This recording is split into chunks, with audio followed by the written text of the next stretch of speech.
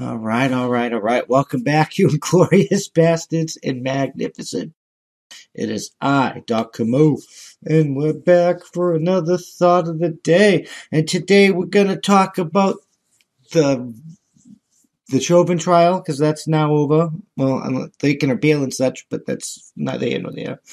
Uh, I guess bronies are the new white supremacists and new Nazis. We're going to go over that. Uh, Russia's flaunting its military, and um, a child's birthday has gone to shit, and I got to talk about that because I got to figure out where the people what what's going on in people's heads because that garbage is garbage.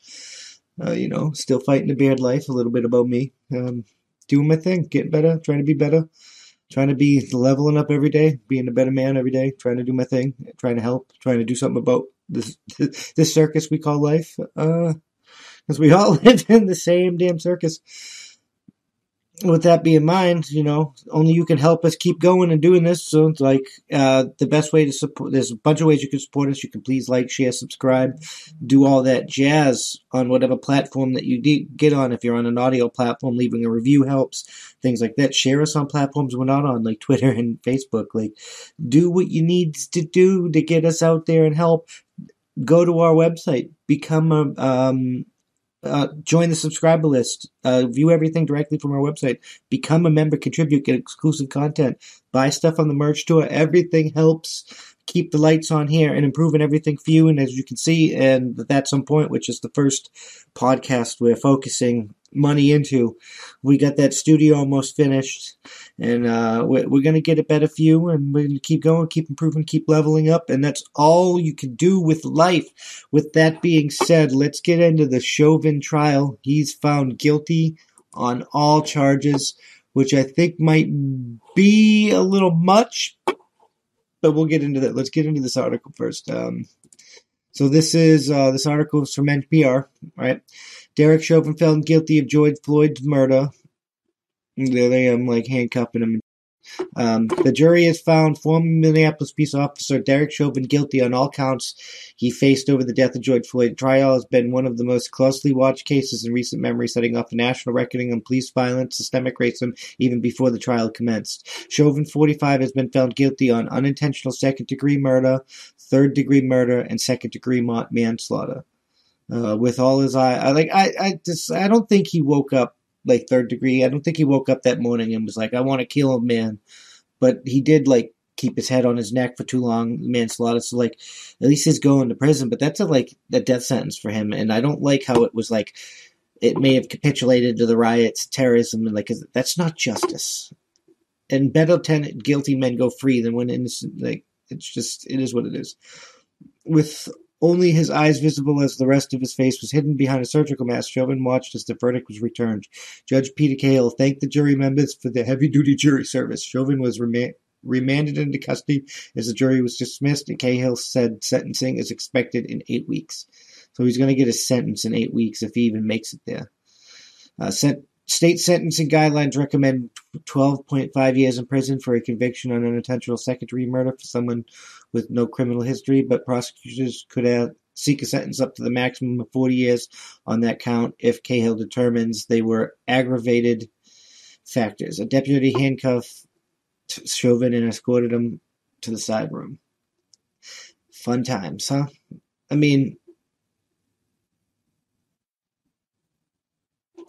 it's a death sentence either way. Like a, a, a, police officer goes to prison, it's a death sentence. Everybody's going to be gunning for him. Uh, George Floyd's brothers, Philonise Floyd, hugged perse- prosecutor Jerry Blackwell, Minnesota Attorney General Keith Ellison, and others, according to the pool reports from a journalist in the courtroom. Ellison Blackwell shook hands. I mean, it's hard to deny that the, the this trial might have been tainted by like Maxine Waters saying the keep riot, the, the justifying the rioting and all the rioting, and like and the, the state giving money before the trial even happened, which is pretty much admitting guilt. And like, it's just that this whole trial was a farce.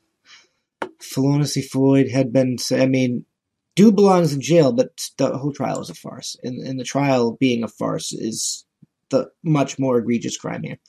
Philonise Floyd had been seen praying in the courtroom, asked by a pool reporter afterward what he had been praying for? He answered, It was just praying that he would find him guilty. As an African American, we usually never get justice. There was no noticeable reaction from the jury. According to the pool reporter, the jurors each remained still and quiet, staring at the judge until they were called upon to announce their judgment. The jury has been deliberated for about 10 hours over two days following closing arguments. Floyd's death on Memorial Damn, that's pretty damn quick. Floyd's death on Memorial Day 2020 sparked protests made across the United States and around the world. It promptly calls for police reform and soul searching on issues of racial injustice. Yeah, it did reverberate to other places in the world, which is retarded. Don't burn you down over our problems. Those are our problems that we have to face. And yes, we do have to face them because they are problems. Floyd was a 46 year old black man from Houston who had moved into Minnesota three years earlier. He was a father and a brother who idolized his mother, loved making music, and had been a star athlete as a man. He was also on drugs. That was established, but that's neither here nor there. Floyd died after Chauvin pressed on his knee on Floyd's neck for 9 minutes and 29 seconds as Floyd lay face down, handcuffs behind the back. Trial. This is about the trial. Uh, that was all public. I'm not going to go over most of what's going on. Here's his charges. He got charged, found guilty of unintentional second degree murder and defined as death causing without intent to do so while committing or attempting to commit felony offense. The maximum sentence for second degree murder is 40 years. Third degree murder is causing death to an individual by perpetrating an act of mentally dangerous to others and evidently deprived and evidencing a depraved mind without regard for human life. Yeah, see, that's a little much. But without the intent to cause death, well, without the intent to cause death. Mm, I guess you could kind of argue that, that he wasn't trying to kill him, but he eight and a half minutes was egregiously ridiculous. So it carries a maximum sentence of 25 years. Degree manslaughter is causing the death of another by culpating negligence, creating an unreasonable risk in which the dead negligence. Yeah, so like kind of without intent to do that. So no, he might actually be. Um, these all three charges they they they might stick. And these are the jury. We're not going to go behind that. And it's beyond the courtroom. We're not going to go any further into that. You can read the court documents. You can follow along like everyone else's has. But that's what's going on. Um, there's got people. Some people are happy about it. Some people aren't going to be happy about it. And there's probably going to be rioting anyway because that's what the last couple of years has been. Because it's not about this. This was just an excuse. I'm just saying moving right around, right along. Uh, the next thing in the Twilight Zone in today's circus we're going to talk about is apparently bronies are Nazis now. They're white supremacies. They have a white supremacist problem. Um, I mean, bronies have a mental health problem, I think, dressing up like little ponies or whatever. But to each their own. I mean, they have their own. Um, just like you, are uh, it, it's weird to me. Um, but it's your thing. If that's your thing, that's your thing. That's who am I to tell you what your thing is? And that's how. That's all I'm going to say about that. But apparently, they have a, uh, this huge white supremacy problem, like everything else. Everything's whiteness. Let's check this out. Uh, the Atlantic, right? My Little Pony fans are ready to admit they have a Nazi problem. Uh, My Little Pony fans have had a Nazi problem for a long time. That sounds just as strange no matter how many times you say it. My Little Pony, Friendship is Magic is a cartoon television show about friendship, compassion, and a group of magical horses with names such as Twilight Sparkle and Fluttershy, who who live in a fantastical land called Equestria. It's marketed to children now. Nevertheless, it has an extremely dedicated adult fandom because people are crazy and humans are awesome like that, which is mostly made up of men or bronies as they've been referred to for many nearly a decade. Most of these men are white. Some of these men are vocal white supremacists. I mean, I don't know if that's true. And like, these people like to twist and some things. I, I mean, everything's white supremacy now, so you're gonna have to like show me like real examples, or I'm just gonna think that's utter garbage. Uh, the Brony subculture is about a niche as they come, born in interest forums in the early 2010s, an era when hyper specific interests were organizing. I don't know why this is like this is ridiculous. Even so, bronies have long captured the world's attention. I think it's just because it's men. The world likes to hate on men. They hold well attended fan conventions. They've been the stars of multiple documentaries. If Atlas shrugged, you would all die. Men like do all the like like climb through all the fucking nasty sewer pipes and like Many of the show's adult fans generally enjoy My Little Pony and the wholesome escapism it provides. Otherwise, however, delight in the irony of their fandom. To them, it's edgy and provocative to be an adult obsessed with cartoon ponies. It's fucking weird, but whatever. To each their own. That's where the Nazis come in. Okay, I guess, I guess so. Whatever. Uh, My Little Pony fans primarily express their enthusiasm for the show by sharing their own cartoon drawings of the main characters, which they usually upload to image boards. The most popular of these sites is called Derpibooru, a combination of a character's name and a common term for image boards. Derpibooru hosts millions of My Little Pony artworks, plenty of which are simple tributes to magic, friendship, and the magical friendship. Magic, friendship, and magical friendship. Oh my god, this is fucking 20, 2021. This is the news. But a substantial number of them are extremely jarring and violent. An image that I recently viewed on the site depicts My Little Pony characters presiding over three lynchings and one beheading of cartoon drawn to represent various marginalized groups. Derpibooru even lists racists as a searchable category, and more than 90,000 arts tagged as Jesus Christ. Maybe they do have a Nazi problem. For years, this has been the status quo. Oh my god, what the fuck is going on in the world?